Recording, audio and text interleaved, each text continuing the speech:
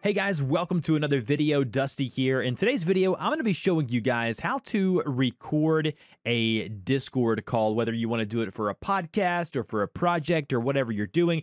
You may want to record the audio and video from a Discord call. As you can see here on the screen, uh, I have myself and a dummy account that I created on Discord, and I'm going to show you guys how for free using OBS, you're able to record a Discord call. So what you're going to want to do is go ahead and start your call. So as you can see here, I have myself here on the left and then my guest here on the right. Again, you can tweak with, you know, the cameras if you want to do just audio or video. You can turn the cameras off or on, but I'm going to keep them on for the purposes of this video. So go ahead and get everything set up in Discord, get yourself and the guest and go ahead and do some audio test.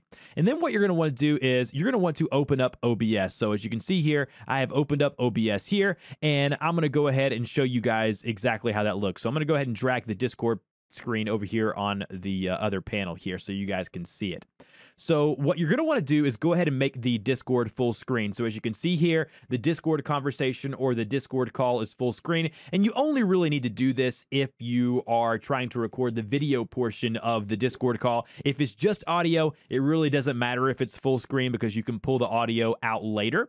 So go ahead and uh, get the Discord full screen there on the screen that you're going to record with OBS. And then what you're going to want to do is you're going to want to hit the start record button on OBS. So basically, you need to make sure that you know where your recordings are going. You need to test the recordings before you go ahead and record the whole podcast episode or you record whatever you're trying to do. That way, you don't lose all of that footage, all of that audio data. And go ahead and, click the start recording button there. As you can see, I've clicked it here in OBS. Go ahead and talk, do the podcast, do everything you want to do. And then once you're ready, go ahead and hit the stop recording button. So, what I'm going to do now is I'm going to go ahead and take Discord off of full screen. I'm going to go ahead and pull up the video here. And as you can see, if I drag that video over to this screen, if you look right here, you can see here is the recording of that Discord call. So basically, I can go back and play it again. You're able to see the video as well as hear the audio as well for a podcast or recording of whatever purpose that you may want to do.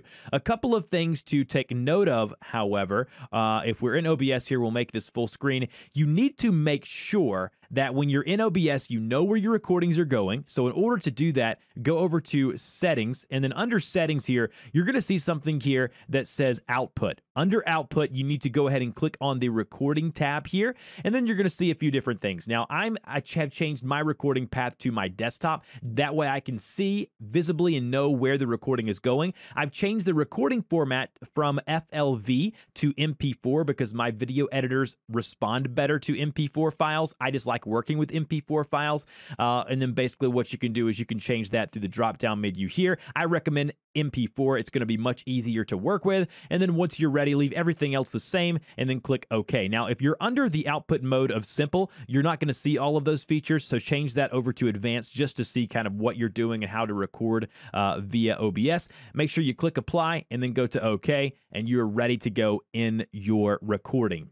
So that's basically how you record a Discord call. If you have any questions on how to do this via OBS, please put those in the comment section below. I'll get to those as soon as possible. Uh, I, I, know this can be tricky. Some things can take a little while to iron out. So if you do, again, have any questions, please put those down below. If you know someone who needs to use this video, please share it with them. Don't forget to like the video and subscribe to the channel for more great content just like this. And I will talk to you guys in the next one.